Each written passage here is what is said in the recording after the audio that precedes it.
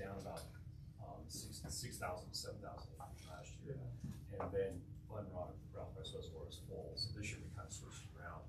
Union's only down about two thousand acre feet, and then Glen Rock's down, uh, s- Yeah. around six thousand. Okay, So, when I was reading so through we're close to, close to average, a little bit above, um, average releases, but pretty close to it. Okay, when I was reading through that, I remembered that there was something that we discussed in previous meetings about, about some kind of switch over like. you Yeah.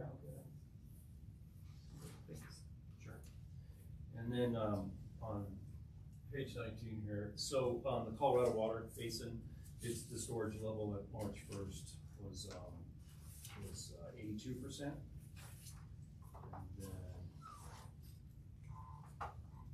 on the. Um, so the South Platte River Basin, uh, reservoir storage March first is hundred and one percent. And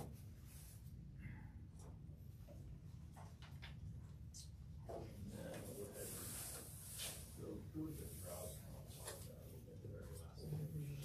Yeah, so they gave most the information. So as you can see, if you go to the top there, you can see that's, so we basically have Boulder County, Larimer County, and Grand County there, and Jackson County to the top. So Grand, Boulder County, Larimer, we're, we're dry and moderate drought, so it's, uh, and we're, we're kind of holding that. I looked at, this was March eighth, but I just looked at March seventeenth, and we're the same.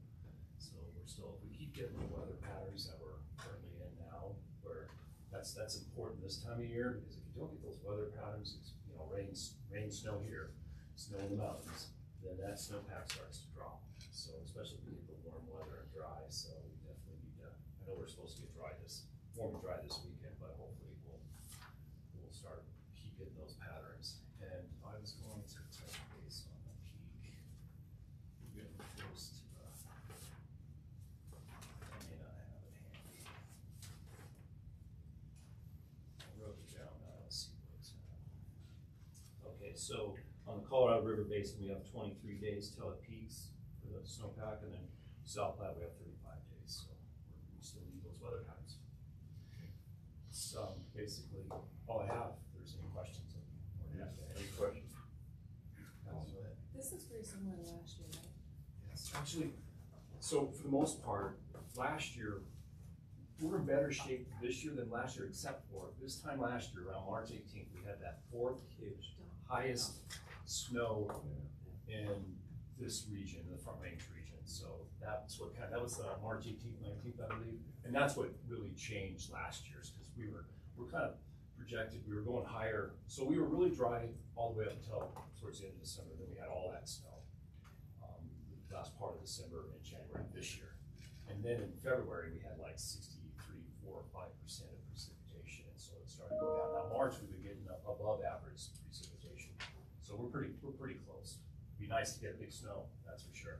Yeah, the real, the real difference from last year isn't so much our basin, it's the, this Colorado River Basin was, um, extre- in extreme drought, red about half of the entire western slope. Yeah. There was, the earlier snows this year, well, mid-year, Christmas snows Yeah. really helped that Colorado River Basin. Well, that's a good point, because the river, Colorado River Basin is definitely better shape right now than, because that snowstorm I was talking about mainly impacted. It did a little bit, in the- it did in the mountains, but mainly on the front range or the central mountains that it did impact. Any other questions? Thanks, Neil. Thank you. Okay, cash in lieu. Ken, you're gonna, Yeah, um, I about just that. report real quickly, um, the action of course, I think I sent out an email, the council went ahead and approved the resolution on the change of the cash flow to forty-eight-five, so that went, um, pretty smoothly. Uh, we had a pretty good flush of cash flow come in, uh, in the twenty-one days before that council meeting. We probably brought in as much cash flow as we did the two years prior. So, whi- which is, which it was expected. Yeah. Um, uh, There's still a lot of, uh, land out there though, that's yet, yet to come in. Um, And so, uh, we, we didn't, because that, that was just approved of like a little, a little, a couple weeks ago. We, we don't have any additional information for, for the March cash in lieu, um, setup. Um, we have got a little bit of information on CBT. It has, uh, it was kind of sitting steady at about sixty grand a unit, but it, we, we know of at least one entity trying to purchase, they just put out on the market, it says, I want two hundred, I want two hundred shares of CBT, and they're offering sixty-five thousand a share, uh, or a unit, and, um, so, I think they're gonna say, they, they, they bumped the market up five thousand dollars. Um, but, um, in terms of some of the local water rights, um, not a lot of, change there. Um, So, um, the one, the one thing that, I, I think I briefly mentioned this last month, um, council is, in addition to looking at, affordable housing, they are also looking at kind of the next category of attainable housing. Um, and it, we may end up, so, so we'll be probably coming back to water board, talk, talk about how will attainable housing look in the water, um, raw water requirement policy. Um, it, it, it may, we may have a program similar to our affordable housing program.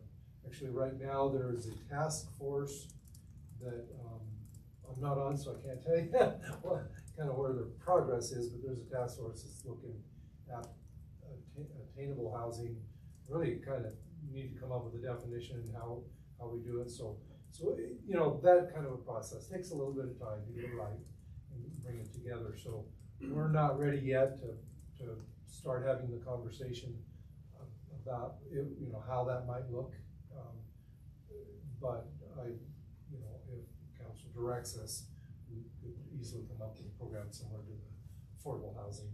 Um, and so, just kind of a heads up that we'll probably be coming forward in sometime in the near future, you know, next quarter or so. Um, as soon as, and, and we'll keep you up to, as soon as we hear about the attainable housing kind of task force, kind of, their work, we'll bring up to speed on that. Let you know I don't know, Marcia, if you have anything more from council perspective? Kind of do and kind of don't, you know, there has not been, um, discussion and, and recently it seems like the discussion is among the housing staff and then it comes to council baked. So, you know, I don't get a lot of previews, but what I can say is that, you know, of course, attainable housing has bigger margins than affordable housing and more flexible financing requirements than affordable housing. So the incentives don't necessarily need to be as great as they do for affordable housing. But short of that, I have no idea. You know, the staff is uh, younger, so maybe possibly, um, you know, different ideas about what's going, you know, what's, what's gonna be appropriate, so I'm, I'm hoping that there'll be something innovative that comes before council. Um, But I have not stuck my nose into it yet, so I don't have any inside information. Okay, cool. So it sounds like, excuse me, Tom, attainable housing isn't well defined yet, or, Well, attainable, attainable housing kind of is well defined in terms of for sale housing. It is, um, eighty percent of the area median income on the bottom and either a hundred or a hundred and ten percent of the area median income on the, at the top end. But, uh, does everybody know what area median income is? Okay. I know what it means, I don't know what the number is. Well, the number, the number changes Yeah, all the time and it depends on the size of your family and, it- you know, so there's never a number. Um, but, um, but, uh, anyway, as long as you know that it's roughly, you know, the median is how much people make here and, uh, it's supposed to be a ma- a measure of, of livability. You know, do you earn enough to actually buy a house here? Uh, and the answer is if you're below eighty, no. and right now, the market's so out of balance that the answer is no, unless you're above one hundred, um, at least. So, uh, um, again, this is not something that HUD forces a definition on us, so, as, as it is for affordability, right? Um, so, we will come up with our own definition of attainability in terms of what needs to be incentivized. Um, other agencies not in the federal stack, um, like, uh, economic development partnerships, you know, which we have the Longmont Economic Development Partnership, and then it is a member of associations of similar organizations.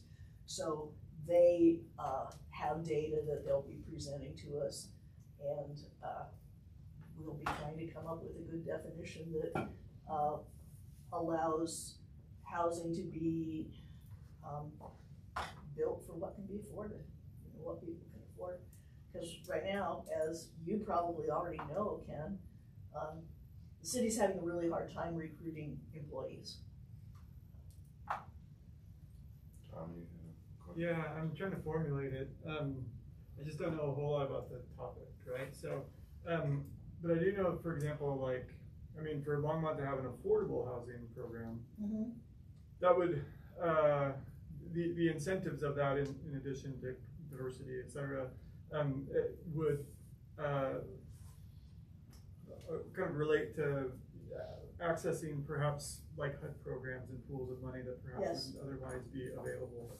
Is that same type of thing, because HUD doesn't have a definition for attainable housing, i- is there like uh, kind of like loan incentives and other types of kind of like community program incentives or something that are available by having an attainable housing program and striving for that, or is it mostly just like Longmont's interest in doing? Well, it's only the ones we make ourselves. Yeah. So the, um, for example, the Economic Development Partnership has enlisted, um, a, a loan agency whose name is escaping me, but it's the one that is co-housed with the EDP. Um, and, uh, the way it works is that employers, primary employers who can afford to do this, will, um, agree with the loan agency to kind of provide some security for these loans, and then their employees get first pick and better deal, uh, in interest rates and waived fees and all like that, that makes it easier for them to, um, get house loans. And that's all great, except that you have to have something to buy. And right now, there's not enough stock, you know, because, um, the housing stock that's on the market at Longmont right now is like, everything's above five hundred thousand, and everything, everything that you'd actually want is above seven hundred thousand. And, uh, you know, so we gotta build other types of housing, because the cost of land is so high. That- That's really helpful, actually, so, and that's where kind of the innovation part perhaps is coming in. Yes. Thinking about like, okay, what could we do internally?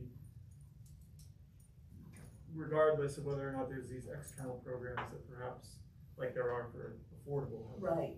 Yeah. Yeah, so you don't get to lo- to use things like low-income tax credits, um, for this. Yeah.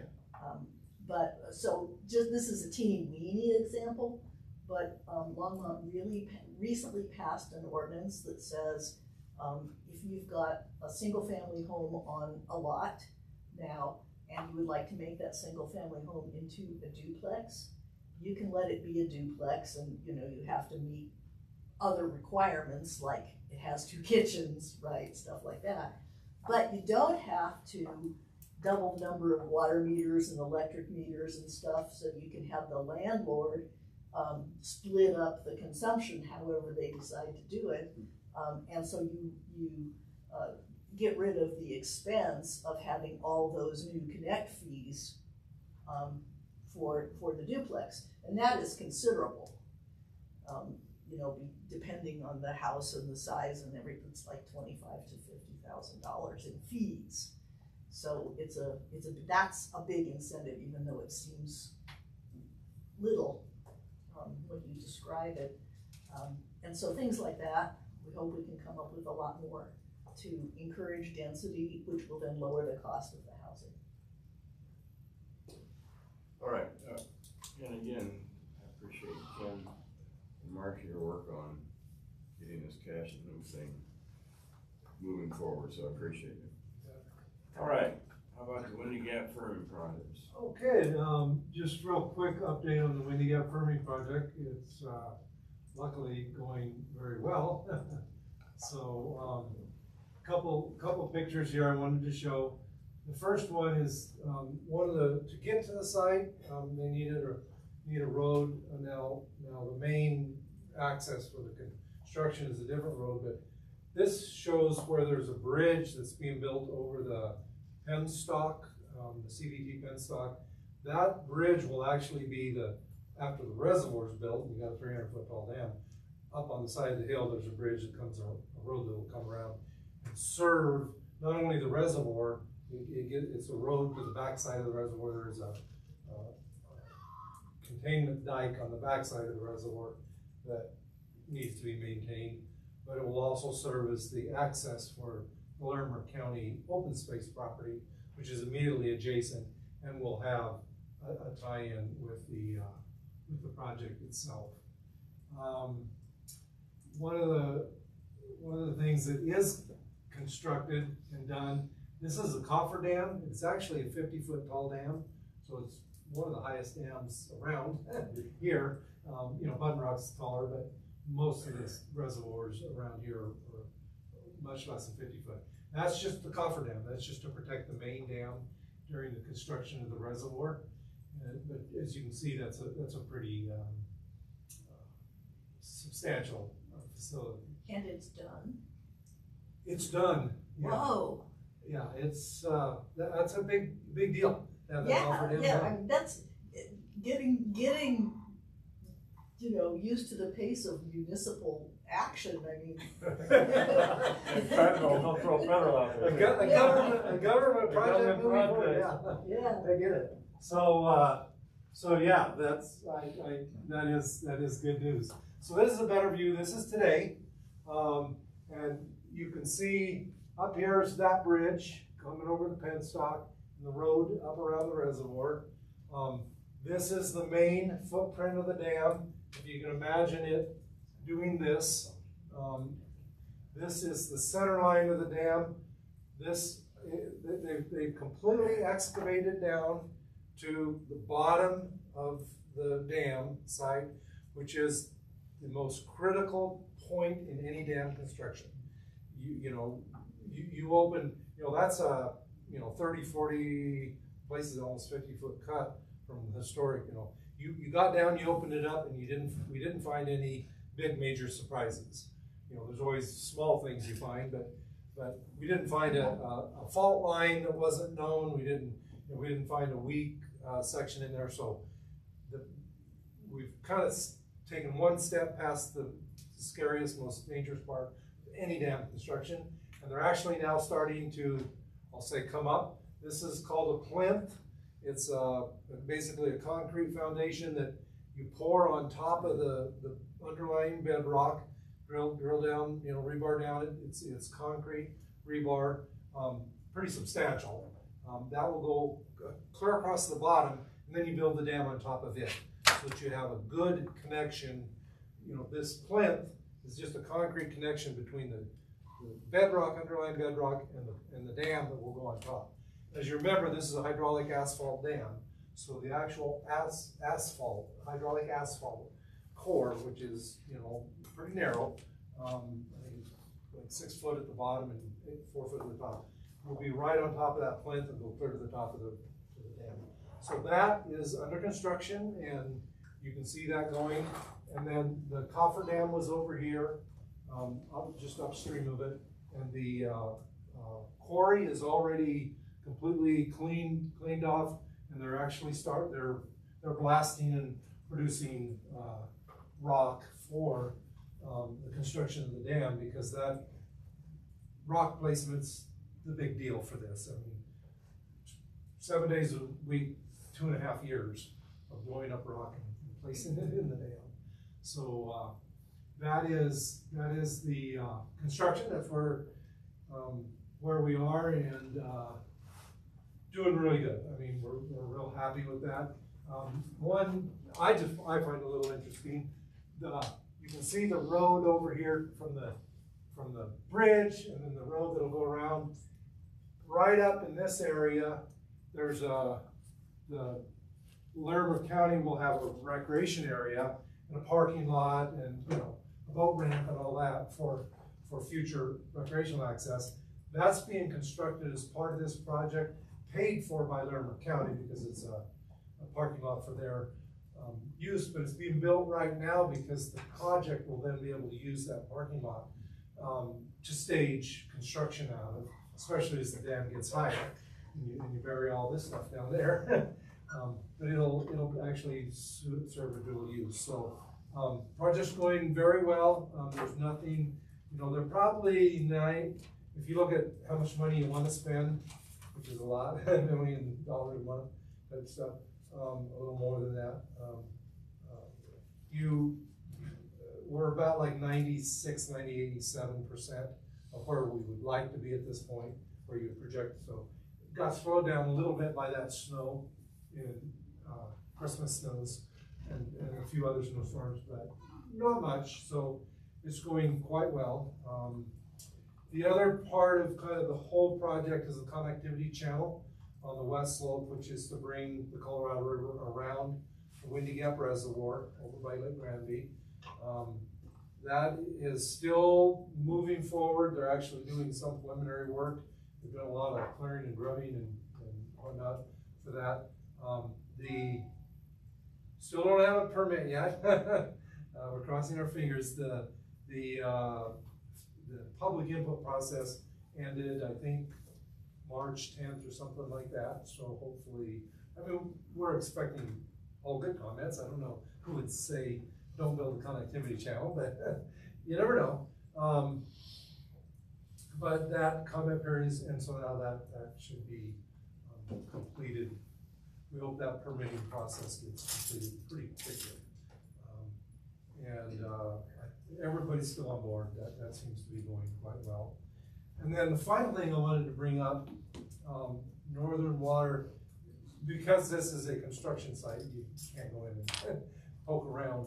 But Northern, uh, the municipal sub-district project, um, is holding tours, um, limited tours for, for board members.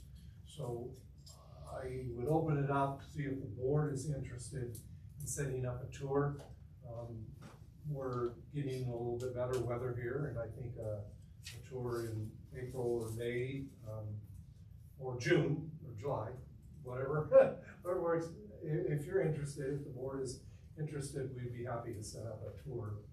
Um, to get up there, you know, we're not gonna go out actually in the middle of the site. Right. Um, They, they can get us up to where you can see everything and, and, uh, one side is right, this picture, of course, is taken from the east side of the reservoir, basically right up above Carter Lake, looking down in the valley.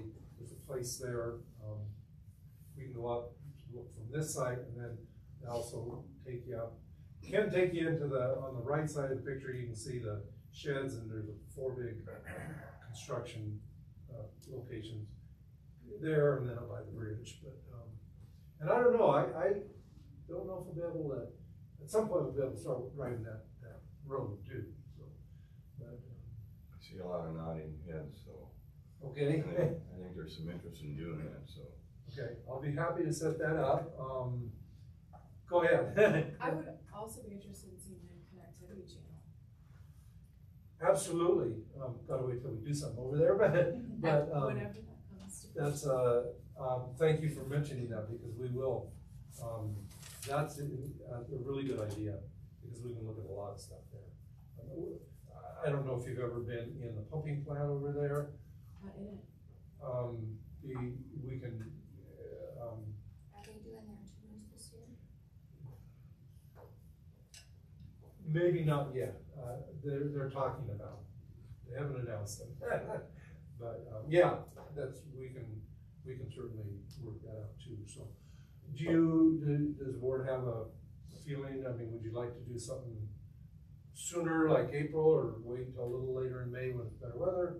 Wait till June when it's nice and hot, but, um, I, I, we can try to set something up, whatever, whatever works best in everybody's schedules.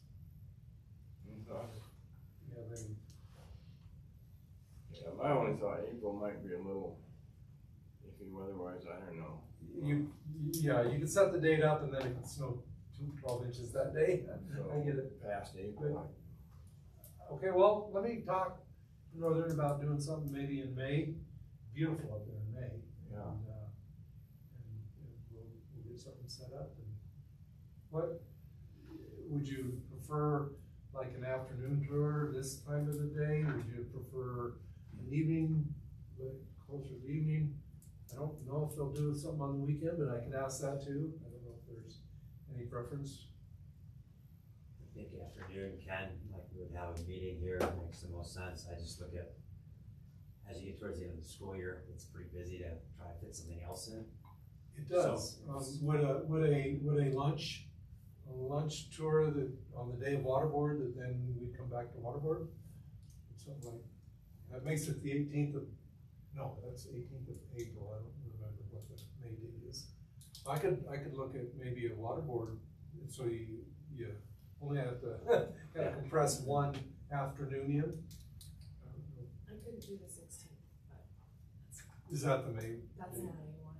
Um, Everybody else is good with that? um, If you wait till June also, I mean,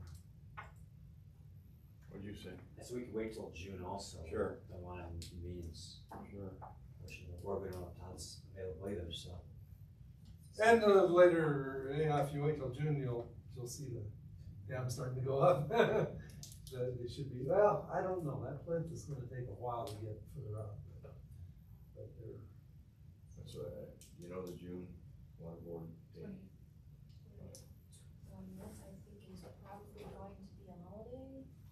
Is that right, Marcia? Did you all vote for that? Um, Juneteenth? Yeah. Yeah, the So then twentieth. it would be the twenty-seventh, we would do it. oh, yes. The twentieth is, I'm glad you, I'm glad you know what you're. There's a new city I forgot holiday. about that, Juneteenth, because Juneteenth The is. Monday after June nineteenth is a city holiday. Yeah. So we schedule our board meeting on the twenty-seventh, Yeah. Yeah, nice. Gonna shoot for that date, see how it works out. okay, well, let me, let me check into that. All right, And we'll see where that goes. okay, Ken, thank you. Cool, thank you very much. Yeah. Um, okay, Jason, you're up. Um, to add to the Windy Gap, if you, I don't know if you guys are into Facebook or not, but they've got a Facebook page called, uh, uh, Chimney Hollow. And I don't know how often they're adding pictures, but they're taking some really gorgeous pictures. I don't know if they paid a photographer, or if somebody just really knows how to use an iPhone, but anyway, I, I've been following that. I think if you just like it, then, then you'll start to get pictures in your news feed on Facebook. So I'd, I'd encourage you to check it out because they've got some pretty cool pictures that um, you don't get to see from uh, the public's perspective. All right, and so um, typically I give you guys a, a verbal update, which um, you, you've been very patient with me. Uh, so I thought I'd give you some illustrations so you could actually uh, maybe understand what it is I'm saying here.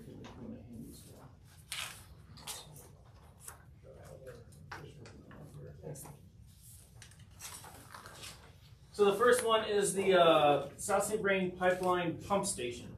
And so here, this is just basically a site plan. So the top blue line um, is the North St. Vrain uh, pipeline, and the blue line on the bottom is the South St. Vrain pipeline. And you can see the South St. Vrain pipeline goes into a wet well. That's the the, the, the box structure there that then um, funnels water into the pump station, which then gets pushed into the North St. Vrain pipeline. And so this here, um, uh, we've, we've currently, um, issued notice to proceed. Uh, Glacier Construction is out there right now. They've actually cleared, um, this lot. They're doing an outstanding job. We've removed trees. We've been working with neighbors.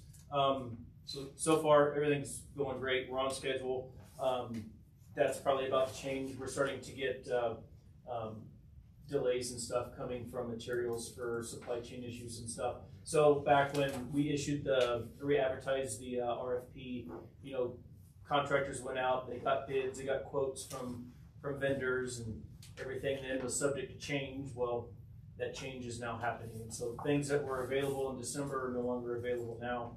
Um, so we're starting to see some long lead times, but we're getting pretty creative, looking for solutions and stuff. I think at the end of the day, I think realistically, we're probably, this project will probably get pushed back two months. So we're looking at maybe, instead of a, a July timeframe, maybe we're looking at, uh, August or September when this comes online. The great thing about this project is, is we're not up against a hard date to get it done. Um, it really is kind of at our leisure, so, um, now, having said that, we do want to get Railroad Avenue back into service for the town of Lyons. We do want to get this up and running as soon as possible. But we've, we've got a little bit of float in our schedule. Um, there is FEMA dollars tied to this, but that's not until the end of the year. So the fact that we have so much float in our schedule, we've got six months worth. Um, if we have to delay the project uh, a month or two just so that we can get this uh, correct parts, um, that's fine. So um, that's kind of all I have for the South St. Vrain pipeline. So the next sheet um, is one I don't think I've mentioned to the board before because this is a, a new one for us. It's a small project, um, a, a relatively quick project as well. So this one is one that I inherited from uh, Larry Wayno. Uh, he was the engineering administrator uh, over at Engineering Services who retired. And so as part of our um, 2013 flood recovery, we removed the North St. Vrain pipeline from the creek. It crossed this section of the creek like five times. And so now we've put it, we've, the road, uh, this section of the North St. Vrain pipeline is actually in Apple Valley Road. But in order to close out our ten forty-one permit with Boulder County from that project, um, we had agreed to remove two sections of pipe. And you can see where I annotated remove section of pipe, and I've, uh, I've called that out. And so the orange line is our North St. Vrain pipeline, and the, um, green line is a, uh, the Lyons, the town of Lyons water line. And so as a courtesy to them, uh, we're gonna go ahead and remove their water line as well. They're paying for it, you know, financially, but we're taking the lead on it, getting the floodplain development permits, we're getting, um, you know, the, uh, stormwater construction activity permits from Boulder County, which we, which we have. Um, before, uh, we, uh, started construction, we did do a, a site inspection with Boulder County, they gave us rave reviews, everything's going great. So right now, um, we're over here on five five eight Apple Valley Road, that's over on the left. Um, we've already removed both sections of pipe from the creek. We've capped them off. Um, we're now mobilizing uh, over to the 416 Apple Valley Road site that's over on the right. Um, the, the Lyons water line is actually pressurized up to a valve right up to the area where we're going to cut it. So we're actually going to take that line out of service for one day so that we can cut into the pipeline. It's 250 psi water main, so that's it's yeah we we don't want to do anything with that kind of pressure on the other side of a valve. So we're going to take that out of service uh, for one day. We'll cut into it. Um, we'll physically disconnect it. We'll we'll pour a kicker, which is just a fancy word for a big pile of concrete. So that way, when we turn when we turn the uh, water back on and that water pressure hits that valve, it won't try to push the pipe away and become disjointed. And so we're going to put some some reinforcements in there to make sure that that doesn't happen. And so anyway, um, it, it's it's it's a relatively small, minor project, but uh, you know we are against the clock on this. We need to have this done, you know, by the beginning of, of April, and we're on schedule to do that as well. And so, anyway, this one's going good. Working with uh, you know in partnership with uh, Boulder County, um, with the the residents here, and uh, yeah, so everything everything's been going good on that one. And this one here, I, I know I've never talked dollars on this one. This one, I'm, I'm estimating is going to be about two hundred thousand dollars to to remove these two uh, sections of pipe. So then the last handout I have is for the upper North St. Vrain pipeline uh, uh, alignment study. So we've talked about this before, how you, you know the upper sections of, of the North St. Vrain pipeline are very hard to get to. Some of it's on a cliff, some of that pipe is suspended. Um, and so we're looking at, all right, you know, it's coming to the end of its service life. Um, it could be taken out in the next, you know, next flood event, uh, or or a, or a rock could fall on it. You know, what what do we want to do uh, in the long term? And so we've identified several different ways that we can divert um, some of our water to Nelson Flanders that doesn't involve using the upper North St. Vrain pipeline. So the upper section that I'm referring to is the yellow dashed area. So this is the one that has two tunnels. This is the one that has timber cribbing, rock cribbing. This is the one that um, uh, I would like to invite you guys to go on a hike and, and explore this and see it for yourself. You kind of have a greater appreciation once you've actually kind of gone up there and hiked it. And it's a, it's a relatively easy hike. It's, it's two hours, but it's maybe it's something that we can do here in the spring. Um, and so anyway, um, looking at you know long term plans for this, you know one one of the ideas is um, well we can replace it in kind, which you know has some advantages to it, um, but would be very challenging because we don't really have a means of getting you know uh, an ATV back there, let alone an excavator or a crane or, or anything like that. So that would you know those are some considerations. So the thought was well let's leave our divert point of diversion at Longmont Reservoir in place, but let's just realign the pipe. And so one of the thoughts is the red line here. You can see, let's just put it along Longmont Dam Road. Um, and so we Longmont Dam Road, um, this would require uh, a tunnel section. It would also require a siphon to come back up to the hill. But the great thing about this is um, you have easy access to it. Um, and it gets 100% of our diverted water to the uh, hydro plant. Um, so we'll actually, where you see the yellow and the red line come together, that's the top of the penstock. So we'll actually be able to keep the hydro plant um, in service. So moving to the right, you can see the green line over here. The green line is uh, the existing Lyons diversion structure. So the town of Lyons used to you know, provide their own drinking water until the flood of 2013. Well, their diversion structure is still in the creek, and we could potentially use that.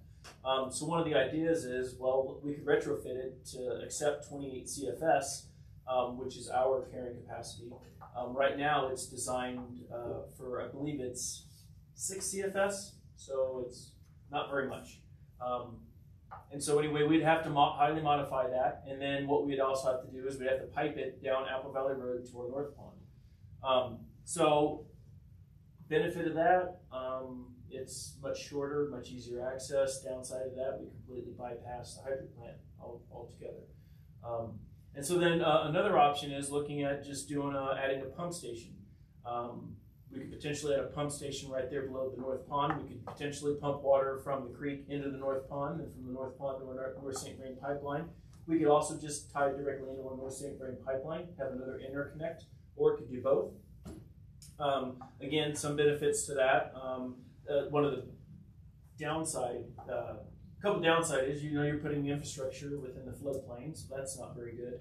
Uh, you're reliant on power, so now as opposed to generating power, you're consuming power, um, so that's not very good. Um, and then uh, again, you're you know, you're bypassing you know the hydro plant, and so then we're looking at well maybe we could do combinations of all of these. You know maybe maybe one of the long, you know, long term, the end game is to realign or replace the upper north line um, in its entirety where it's at.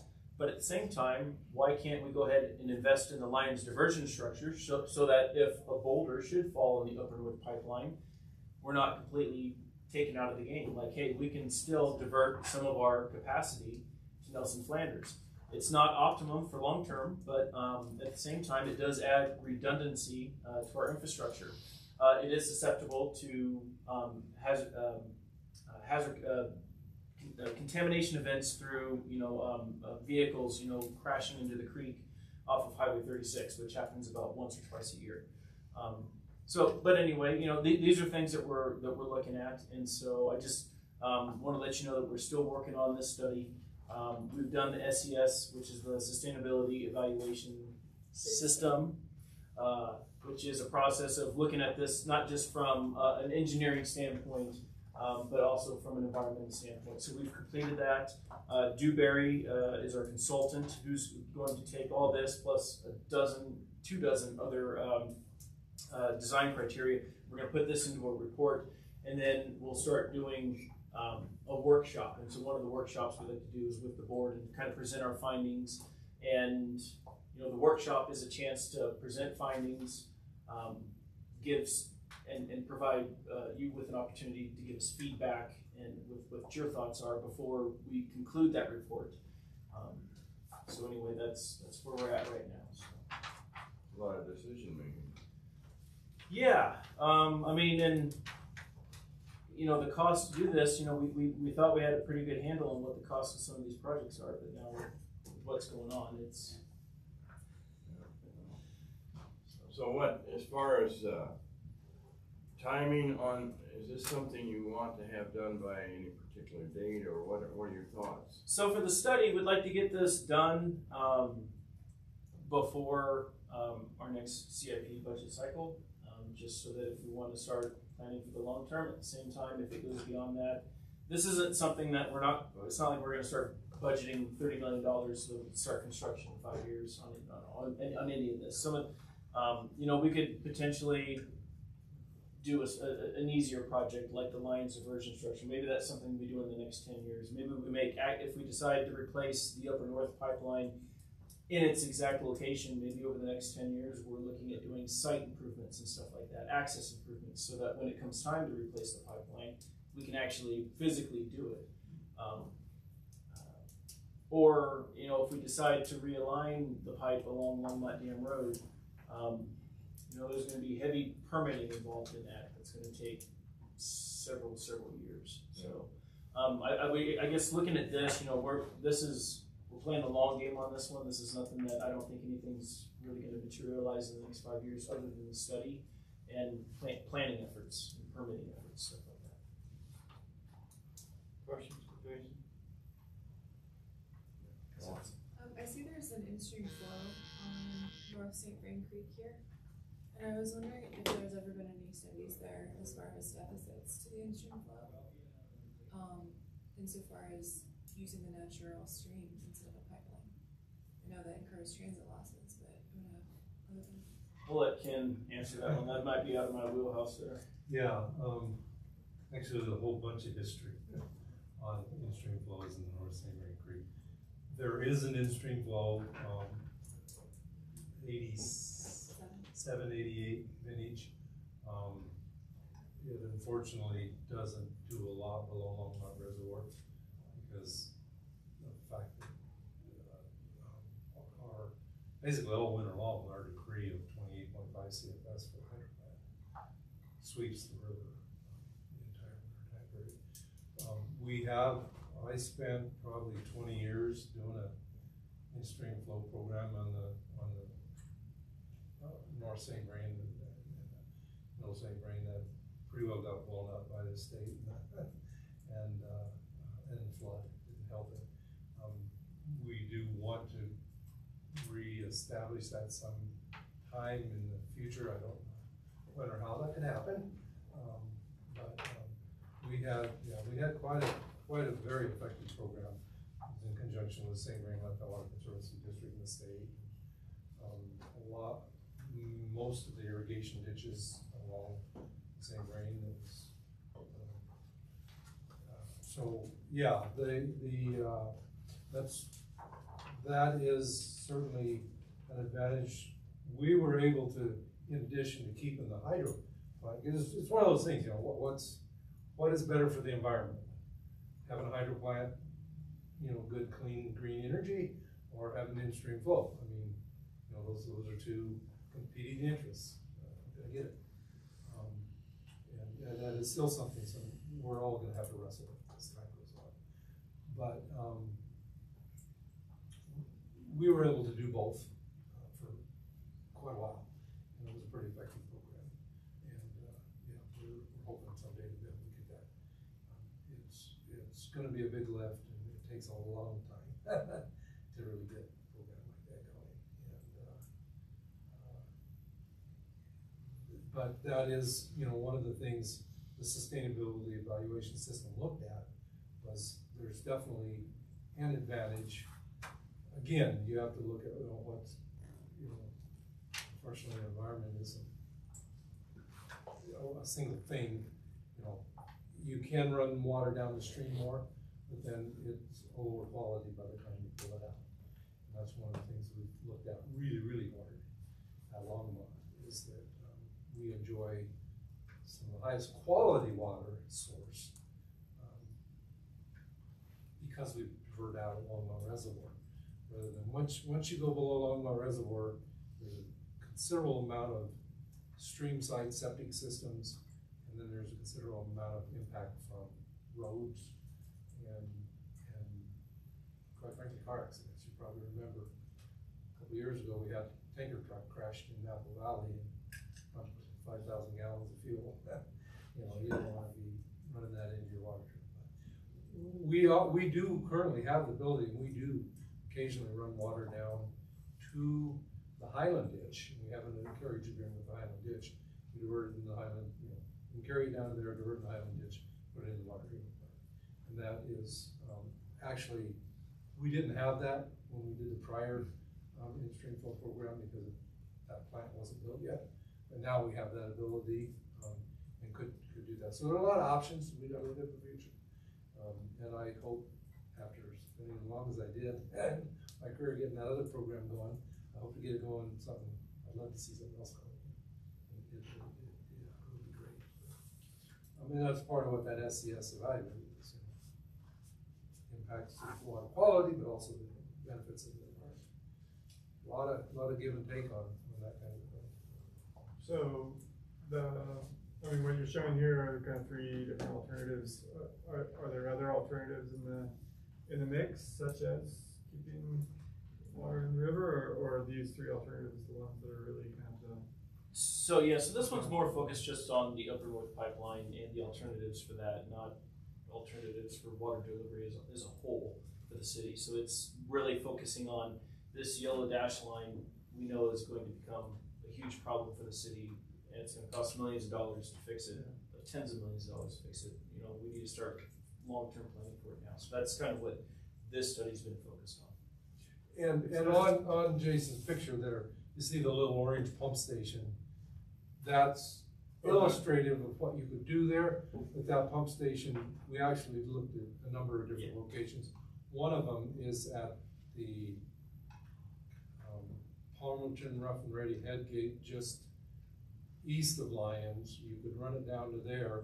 We have, most of our change cases have that as an alternative point, alternate point of diversion, which really helps us because you've gotta be careful not to take too much into water court. You get slammed every time you take something into water court. Um, so even though that orange line is at that location, we certainly, as these things move forward, you can look at something like that and say, well, the- benefit of moving that. One, one benefit we have of the Highland ditch and the Palmerton Rough and Ready is we're below the confluence of the south. And so now we have both, all of our decrees on the south and all of our decrees on the north available at the, at those two locations. So There's so much to look at that Jason's really busy looking at all those So, things. so I guess inherent in that orange line then is essentially keeping water in the river, delivering it to that point of diversion and pumping it out. Correct. And, and yeah, exactly as, as, as Ken mentioned, that, that pump station, the idea of that is, I mean, we've actually, yeah, we've identified like five other locations, but just for simplicity to put it all on one page, we just showed, we just showed one. But that was, that's what the study's looking at is, okay, the pu- pump station, that's, that's, that's an idea. Where would it be best suited? And so now we're going out and doing stu- individual studies as well. And so, um, you know, kind of like the Lyons diversion structure, do we want it to carry the full capacity? Do we want it to carry just what it can already take? Um, a combination, uh, so it's, the, these are the big ideas, but each one, each, each, each idea, we're diving into the details, and then the combination of each idea, and the different options we have that way. And I guess the way that we're, we like the hybrid options because it, it gives us the most flexibility in how we use our portfolio. Yeah, and I, I totally understand this, just kind of what, uh, competition or something between water for hydropower uses and water for kind of in-stream uses, as was mentioned. I think I remember from our tour up there, though, it was that, and don't get me wrong, the hydropower plant is amazing, and it's got this wonderful historic kind of aspect to it that is very special, I think, to the Longmont area. Um, in terms of the amount of power it generates, it's relatively negligible. I mean, what was it, 0.1 percent or something like that? It- if you look at our total energy supply, it's very small in term, we actually have a requirement of ten percent, uh, generate, renewable energy generated locally. Yeah. And if we're looking at that, that actually is, I think, two percent of that ten percent. So it does, even though overall, if you look, you're right, it's like 0.2 percent of our overall supply, but it does actually help us meet, um, that, uh, local generation. if it's this really specific kind of niche, I guess, within, yeah, okay, I get it, yeah. Besides, I would cry. Yeah, it's awesome. And we also, in the SES evaluation, we're just, in terms of the hydro plant, not just thinking about the renewable energy, but also the cultural and historic significance of the plant, so, um, a couple different factors that we looked at. The other thing to consider is if we were to take the hydro plant offline, that doesn't mean the hydro plant would go away. It's, it's a historic structure, it would still be there. So it would, it would almost be a shame for it to be sit there and not to be used. So it's not like, hey, we're, we'll, we'll- we'll return it back to Mother Earth and we'll tear it down No, and, yeah. and, and now, you know, wildlife can then flourish. I mean, it would, it would still be there, so, and we would still have to maintain it, so. It just, Didn't we just, out of curiosity, after the flood, do some upgrading in that hydro plant?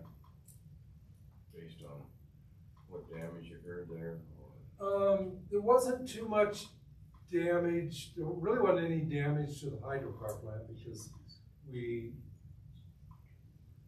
the north pipeline was fairly quickly basically plugged off along that reservoir, so we didn't get any debris or anything down to the hydropower plant.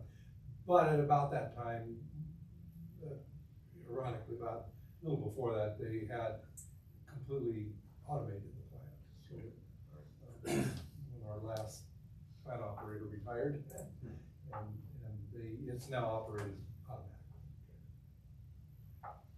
Anything else, Jason? Excuse me, go ahead, Al. I love the idea of a workshop because this sounds like it could be really interesting and have a lot of different aspects that could be considered and weighed. And if this is a really big lift that's gonna take a long time, I think spending that time up front would make a lot of sense. Yeah. And, and the feed, actually, so Dewberry, when they participated in the SES, so they, they were one of the participants.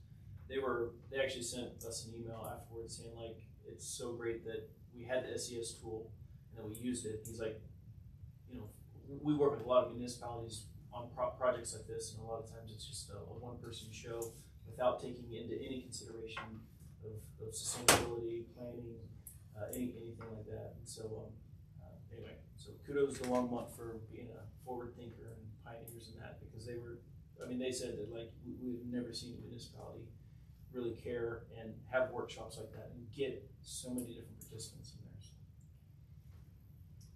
Anything else?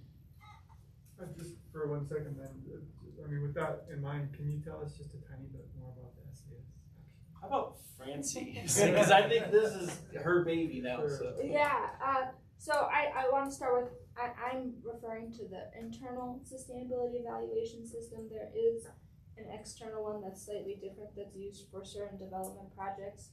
So our internal sustainability evaluation system, um, it's essentially a tool um, for applying uh, the triple bottom line or sustainability lens, whichever way you want to refer to it, uh, to uh, large scale projects. So we have, I would say, uh, two different modules. The first one's like really early on, maybe if you're developing a citywide plan and wanting to think through, okay, do we need to factor in uh, transportation staff and um, water staff and kind of just factoring in. We did the module two, two that really looks at different options um, and factors in. Um, there are I have actually pulled up. There's uh, um, eleven different topic areas from best practices to economic vitality to natural environment to energy, transportation, water, and you and within each of those larger categories, it's it's really broken down into um, sub subtopics. So water could have uh, water conservation as well as water supply, and we actually added a couple um, for water rights, uh, and and uh, there was one other that um, also in the kind of the realm of water rights, natural environment, Um, that's where we have things around watershed, and you can, but also natural environment can be broader um, outside of that. And then you pull together staff from across the organization. Um, so, and so it's not just Jason thinking through this, but we had uh, um, staff from um, who run our hydro plant who are part of it. We had staff um, from our water treatment plant. We had staff from who are bringing different perspectives to it, and essentially we go through and rate the tool together. And you go through and you essentially assign a rating based on an established scale, and uh, and then you kind of do it together. So instead of everyone doing it individually, we, we recommend you kind of do it individually to get an idea, and then you come together. But it's a really a conversation. It probably took us five hours. Uh, yeah, and, well, two, over two days, we had, we had to do over it, we two had- days? yeah. Um, so it's this, and I, I was just, I, I, um, asking, um, Jason that we could, there is a final report we put together, um, that I believe we can send out to the board if you all want to review it. Um, with the context that this is just part of Jason's analysis, um, but, uh, if you're interested in kind of looking at like the key takeaways from the SES, I'd be, um, be happy to share that out. Yeah, that'd be, that'd be great. That takes me back to my consulting days, back, back when I was fresh out of college, I guess. These are the types of things that I used to do consulting. Just, yeah, cool. Yeah, likewise, I'm interested. Op- Optimizing. Okay, Jason, anything? Anything else? Um, that's it for major projects. Uh, just a quick reminder that the South St. Vrain Pipeline Rehab Project's done, so I'll stop giving you updates on that one. And as soon as the pump station is online, um, uh, the South St. Vrain Pipeline will then be servicing Nelson Flanders with a, through the pump station at Highland Ridge. So, I'm very happy with that. It's been a long time. Yeah, yeah, thank you. All right, Francie, or not, yeah, you got water conservation update? I do. Um, so a shorter update um, this month. I believe in May I'll be doing the, the larger update where I bring, I'll have our total uh, water consumption numbers from 2021 so I can show you all the trends um, that I uh, usually do about uh, once a year. Um, but just wanted to let you all know that our a lot of our starting to in the summer outdoor water conservation programs. Um, Garden in a Box launched our so we have two different types of discounts. We have a twenty-five dollar discount, which sold out in less than a week. Um, and then we have our um, our cares. So we have the Longmont. Oh, I do not know what that acronym is. It's a rebate program. um, I do not know what that acronym stands for.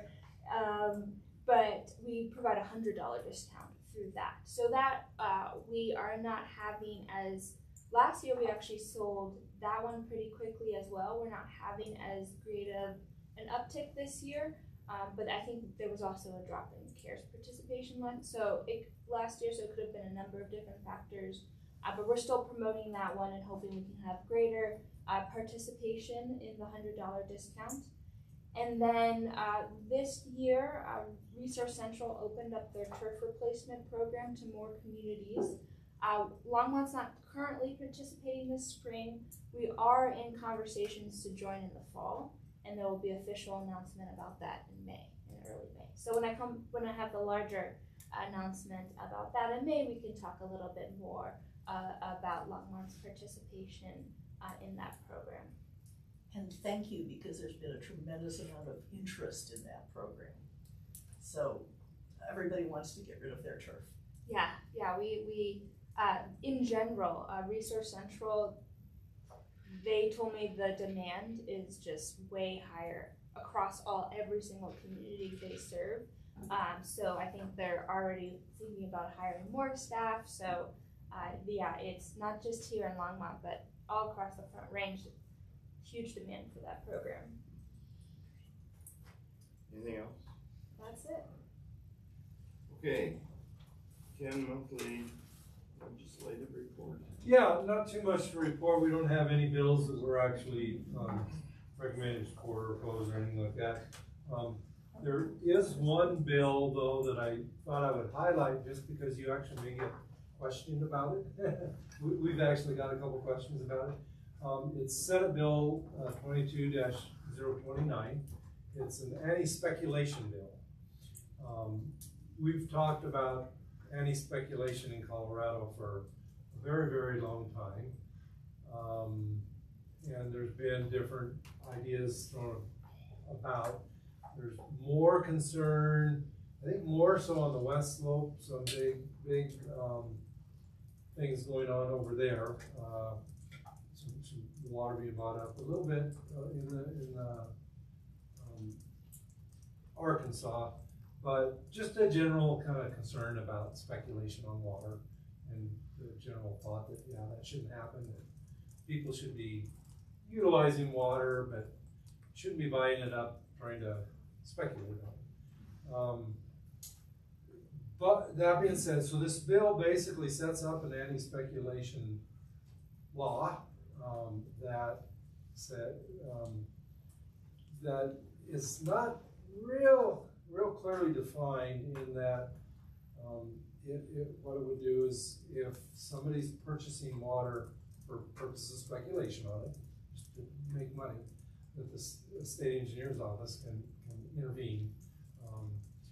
It has a kind of a funny requirement for ditch companies that ditch companies have to declare a minimum amount of shares per user that the state would use as a criteria to determine if somebody's speculating. And I have no idea how ditch companies are gonna figure that one out. Company's not either. Uh, Exactly. They don't have an idea right now. Um, so it's been introduced, I, it hasn't even come out of committee, I'm not sure it'll make it this year, but I, I don't know. Um, it do, it's not gonna impact Longmont because Longmont doesn't, one reason we have a charter restriction that says we can't sell water, so we're never gonna get water that we're gonna quote speculate on it and try to sell for a profit. Um, so it really doesn't impact Longmont directly, so that's one reason we don't, we don't, um, take positions on bills that don't directly impact Longmont.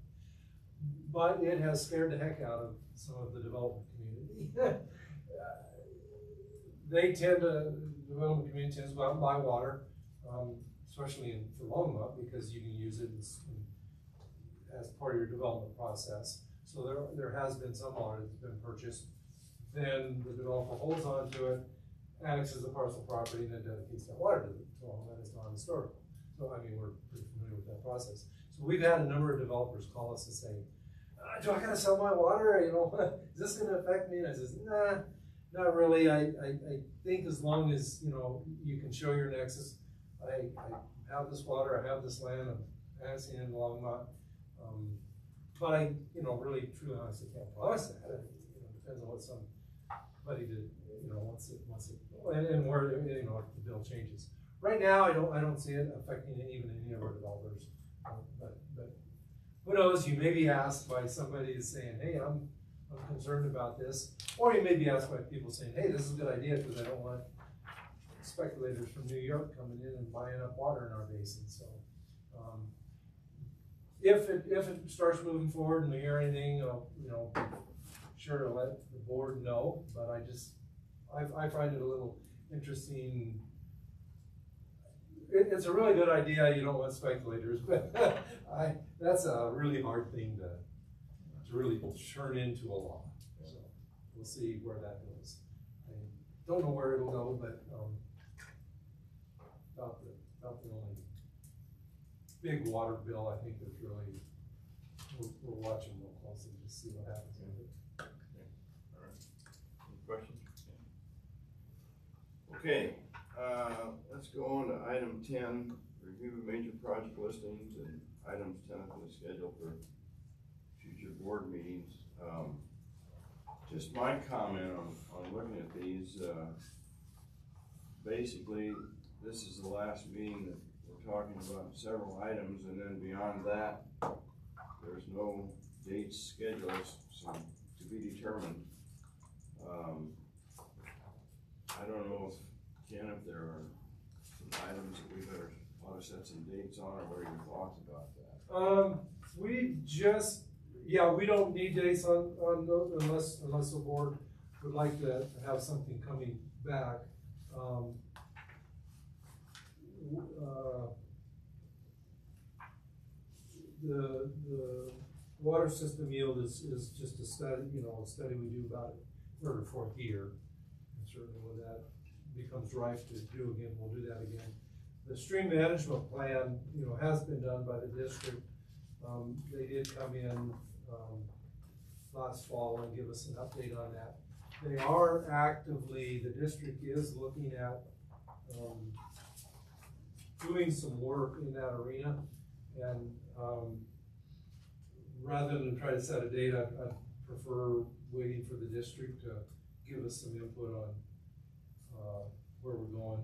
And then again, the attainable housing, uh, will, will, that's probably sooner than later, but we're trying to fit in well with, with where the, uh, committee, the group is looking at that. Um, and we'll, we'll be following that.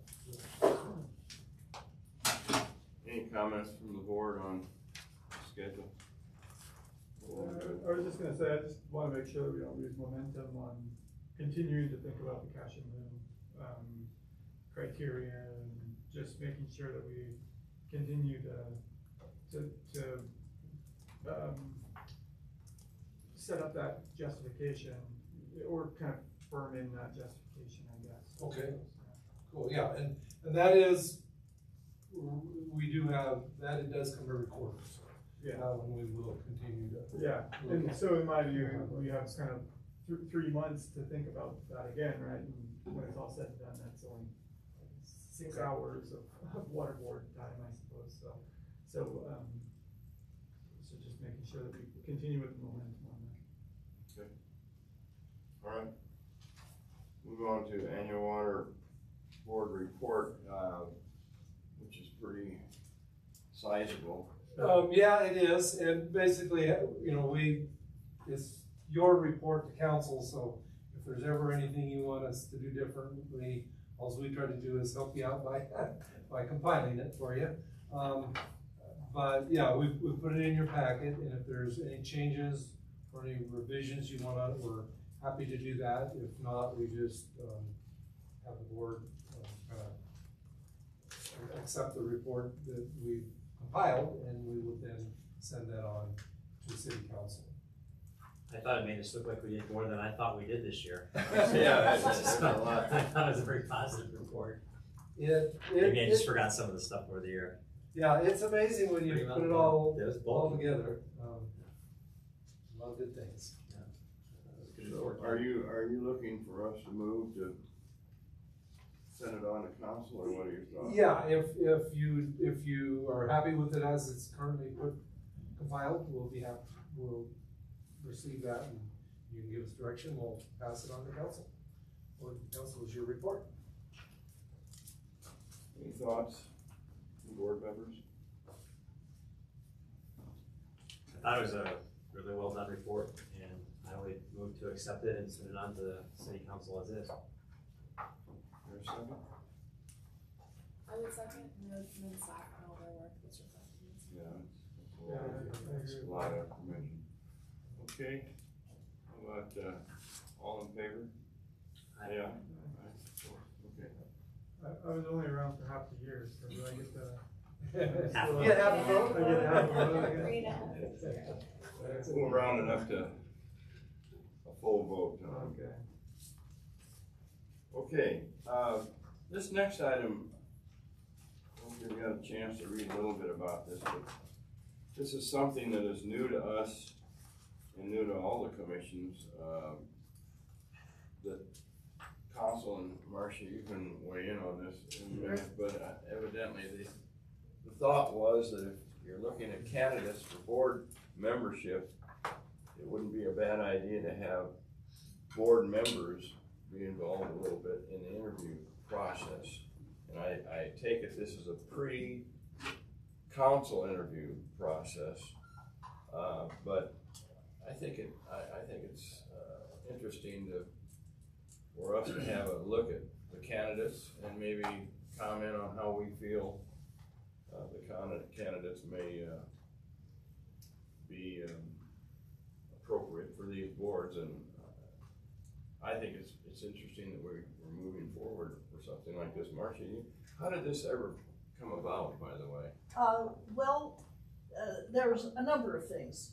First of all, since you all went through the council interview process, uh, it's ridiculous, right? That you're gonna choose somebody that has as much authority and brings as much insight uh, into this process of keeping tabs uh, on how the city's water policy is being carried out.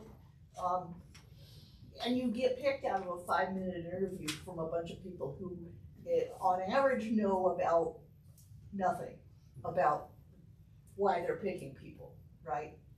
So um, the idea was let's have better qualified um, applicants and fewer of them so that we can um, understand things like is this person, you know, do a manager interview, right? Is this a, a responsible person? Does this person have a weird agenda?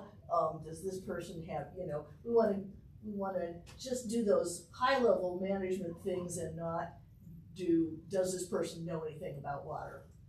And, and is this person qualified to actually weigh in on the subjects with this, that the board reviews?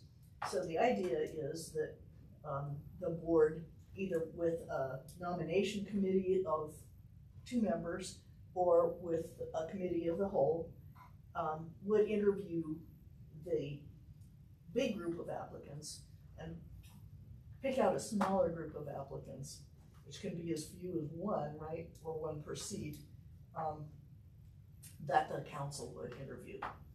And hope that there would be, uh, a more respectful process, as well as ending up with the, the most qualified board we could have. So that was, that was the idea. Just out of curiosity, when your council interviews with proposed uh, board members, do you have a set, set of questions that you ask, or how, do- I'm not trying to be nosy, but I am trying to be nosy, how does that work? Well, you should be nosy. Um, yes, and actually that was an, in, an, an innovation. The first year I was on council, we didn't, you know, we just showed up and, and went round robin and everybody asked a question. Which isn't, I mean, it's not, if, if this were a for pay job, it wouldn't even be legal to interview that way. You know, since it's a volunteer job, it's not regulated, but we should still use best practices, right? So after the first year, uh, we started having a list of questions that we would all ask and, or we would ask every candidate. And then I think the second year, we actually had the board, asked the board to recommend what count questions to ask. But, um, you know, it still made, it was a five-minute interview, you really couldn't ask, couldn't, you never got through the whole list. And, and you couldn't really find anything out about the person. So we were really voting, um, on the resumes, right? You guys all have really stellar water resumes, um, but for many boards, that isn't true. You know, it's, it's easy to look and say, oh, but yeah, this person is a land use attorney, I guess they do okay, right? Um, But, uh, you hit, get the word guess? You just, you just don't want that. pardon me?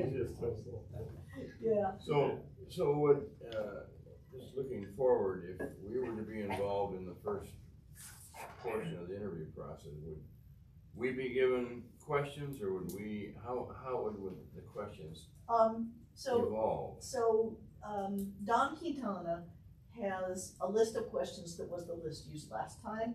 And now this is, I, I haven't read, um, what you guys were given.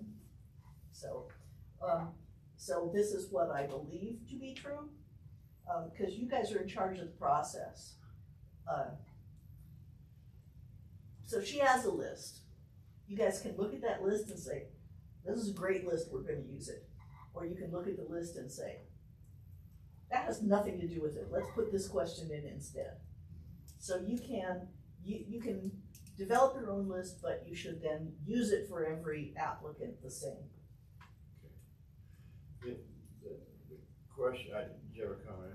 Ken? Well, I was just gonna say, and yeah, the, the process is really set up around, the staff liaisons will work with the boards to set up the questions, set up the interviews. Um, we'll do the lifting of getting the, you know, the venue and getting the candidates there and, and basically the board will just actually do the interview. So really the two questions today that we kind of need to answer are, um, does the board want to do two, maybe three, or all five board members? And of course, Todd's not here, he- he's, his term's up this year. So if he chooses to run again, um, then he wouldn't be able to be on the interview. Um, but if he doesn't, then he could, so that's really. Yeah. Um, so, so really, the biggest thing we need today, I mean, we'll talk about these procedures and where we wanna go. But it's, you know, how, how, how does the board prefer doing it, you know, just, you know, two or you know, three or five. And when do you wanna do it? Um, because we, we kinda need to know at least that much, so we can get things set up. Interviews will be in May. Um, the- just so you know the schedule, I think it's April twenty-second is when, um, the applications have to come in. And so then whoever on the board will be interviewing will, you know, we could have two or we could have five. We, really never have a whole lot of, I mean, we don't have tons and tons you'll have to interview, but however many come in is, is, we'll set that, those interviews up in May. And then we have to interview the interviews in May so that, um, we have to give the results to council, think it's the first Friday in June, so.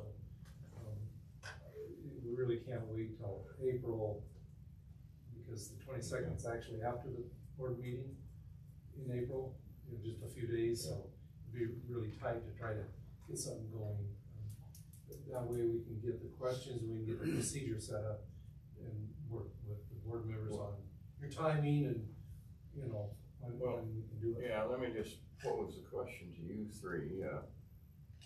They are proposing you can do one or the other depending on what your desires are. We come up with a committee of two, board members or all of us be involved, and I'm, I'm curious how you all feel about what, what your preference would be. Let's start with you, Scott. What, Um, I, I would be comfortable, uh, with having a subcommittee. I don't think it's necessary to for us to convene the entire board for that purpose. That's my comfort level, that's the desire, we can certainly try that. I look at my, um, May timeframe and I'll be hard pressed to find the time to participate, but that can be determined when we figure out what the process is. so, Would would these be in person or? You can't do them recorded too, if you wanted to do them virtually, you could do those interviews virtually. It'd make it a little easier to record it. It's a good question, yeah. so, let me just make sure I understand what you're saying, just have just a committee of two, do it rather than all of us be involved? That's my comfort level for disclose, I mean, I, I, I'm a co-managing part of my law firm, all I'm doing right now is interviews. That's what I do for a living now, because as you, it's hard to find people that wanna work in Longmont, apparently, go figure. Okay. Um, so, trying to convene a bigger group is, is a nightmare, that, that, that's my, my practical rationale. Okay, how about you, Tom, what's your thoughts? Uh, I could go either way. Um, so I'd be, I don't mean to be wishy-washy or not make a decision, but, um, uh, like, like Scott saying, I mean, I'm, I'm comfortable with, with you all doing it instead of me, but I, I would love to be involved, so I could also be part of that subcommittee, or we could all do it together. Um, I'd be inclined to a practical approach, see how many people we get and how many of us we can get scheduled and take it from there. Cause I likewise, I'm with more, but I, to the extent we get more people. I'm kind of inclined, rather than to say, okay, here's the two doing it, uh, my preference would be those that want to be involved, be involved. Uh, we all have different ideas, and, uh, I think we have a little more robust process doing it that way, so maybe we can just leave it that way, that as we get to the situation, we can ask who wants to be involved, and I guess, Ken, what we're kind of saying is, we don't wanna restrict it just to two. Okay. For, a for a committee, that's what I'm hearing, so, It may be just two, but you're open to having more, Yeah, so you want right. that flex, you want that If flexibility. it's fewer than five, then it's a committee, otherwise it's all of us, I guess. Yeah, and, and actually, I mean, water board's only five members. yeah, that's. Some boards are ten or twelve Yeah, members. Right, I wouldn't wanna put twelve people around the table. I- Well, Yeah, it's one really daunting for an interviewee to have that many people involved as well, in my opinion. That's one thing that they suggested in there and talking about that, if you do consider having the whole board there, just be cognizant of that fact to not be overwhelming to the candidates mm-hmm. coming in.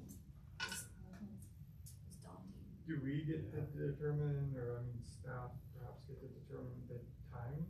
Like the timing, of- I, I mean, I know that we, we just talked about the restrictions in terms of like when, this window that needs to Well, happen, we but would have like to work with Thursday you at all to seven. figure out what dates and times would work, so. I'm just Um, curious as to like, I mean, if it winds up, so this past year, there were two applicants for the, when I, so, I mean, there would be, if it was a ten minute interview, that's twenty minutes of a water board meeting. I think they're saying it's a thirty minute. It's up to thirty minute It's interview. up No to longer 30 than thirty, minutes. sorry. Yeah.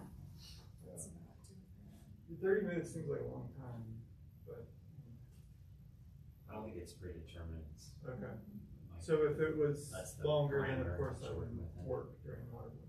Well, we'd have to probably look at our schedules and see how the the timing of that works out. I, I like the flexibility of saying if this is the window, who's available and who's not available. Okay. So, It does seem like each candidate needs to be treated the same. So Yeah, we oh, get yeah. A Yes. block No, where I- we can interview right, everybody. right, no, you, you wanna, yeah, we don't want to have different. Well, it's fair to assume we'll have one space available on the board if Todd's term is up. And the question is, of course, how many relatively qualified people apply. If it's a not low number, it may be a very small time. But Todd is, I mean, he is term limited, is he? not? Actually, so Todd, when he came in for his first term, was a, um, filling a vacancy. So he has only served one full term and he is eligible to serve another term. Oh, Okay, I I didn't realize that. Been on for two terms, but not two full terms. Okay, all right. So he gets one Uh, up, if he's available If he to do wants that, to. yeah. yeah, Yeah. what He- he wants, he's- selective. Yeah, has he stated his desire one way or the other? Um, Or can you he's speak trying to to it? think it through, he's got, he's also, you know, on the board of Northern, and he's also got a son is a senior in high school, you know, he's looking at possibly moving out of town, so he's considering a lot of different options. Hasn't, I'm not sure he's made a decision yet. Did you tell him when we need a decision?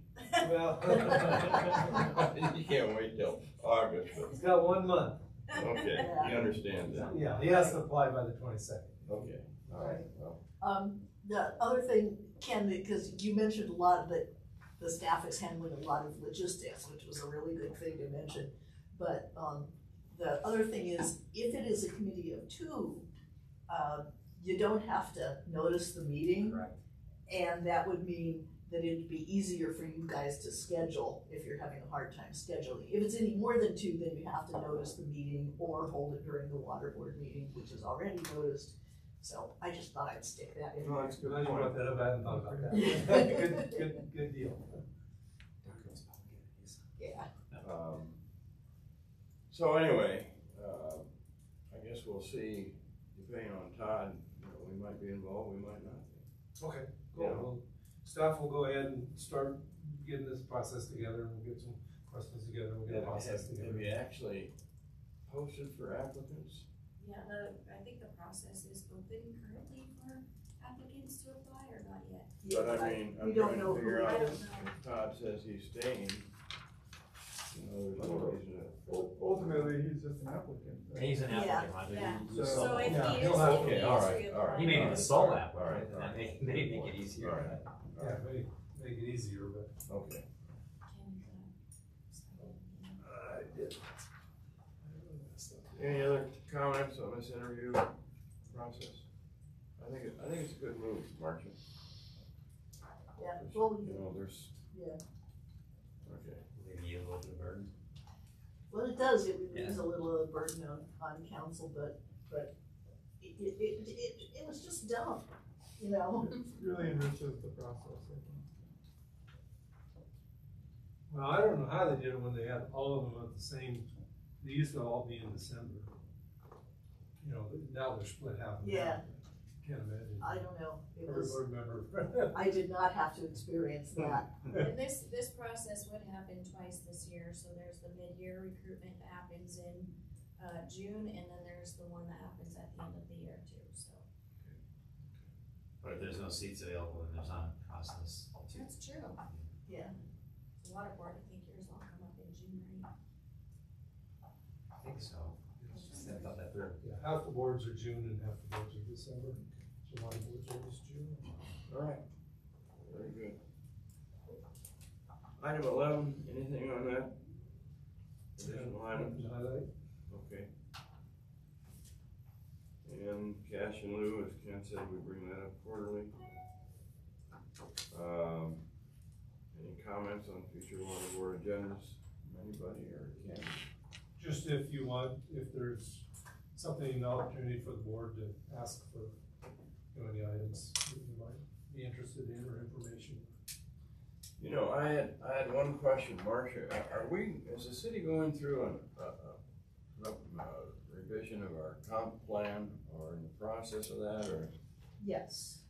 Um, I'm not sure how formal it is going to be.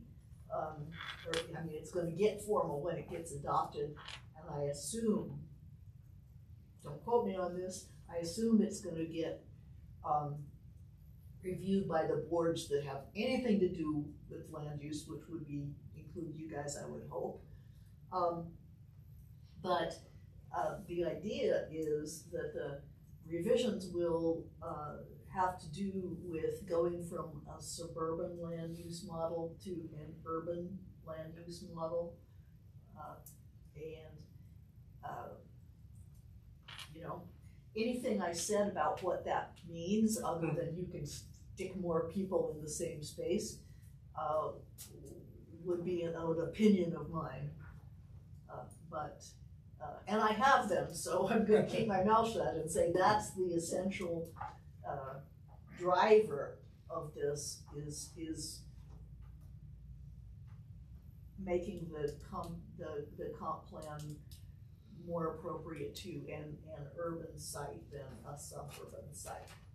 But could have impacts on our water needs out. Oh, absolutely, You yeah, that's so- what I did, anything that has anything to do, uh, with land, land use, and in fact, I think it was you, Ken, that, uh, at, at, we, I encountered you and said, how are we, how are we doing in terms of, of looking at a, a higher build-out number in terms of heads?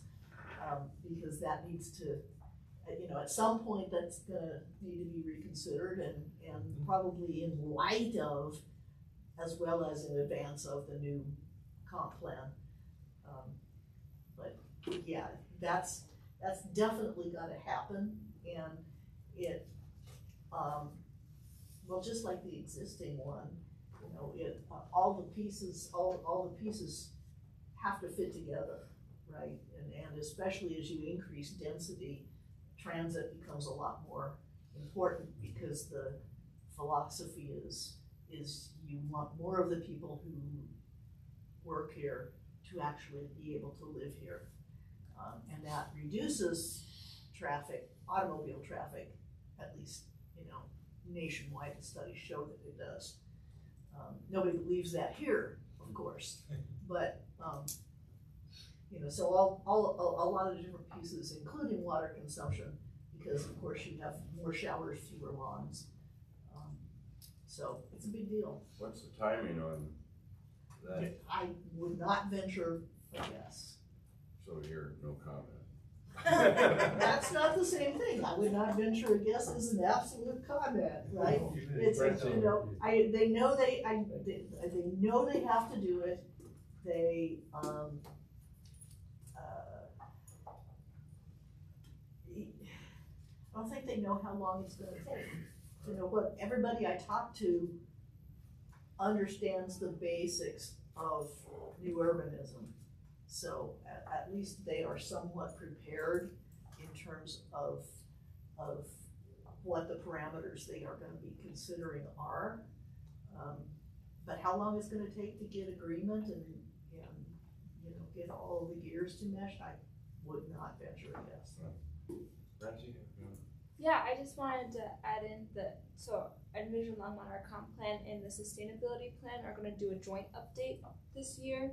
Or, or I think this year, the, uh, I know there's been, de- it was gonna be this year and I think there's just things changing and depending on staffing, so it, it may begin later this year. Um, but that, that, I, I just wanted to highlight that those, uh, plans are gonna be updated together. Um, the goal, the sustainability plan was passed after the comp plan, but the plan was for them to always be very integrated plans, so trying to figure out a joint update. Um, and I know staff have started to add, uh, start those conversations and, uh, with the water efficiency master plan update, that's, uh, to be finished by twenty twenty-four. We've also talked about how can we do, um, some joint engagement and also, uh, analysis with that larger update. But again, I also unfortunately don't have a date either. Um, I just wanted to let the board know that it's going, it, looking at kind of two of our big overarching guiding plans together at the same time. I didn't know that, and that's a really good idea. And it, I think that's, it's a, it's a, a good check and balance that Francie and I both said, well, it's starting, but we have no idea when it's gonna end. Um, so, Thank you. Um, nothing else on the agenda, any comments?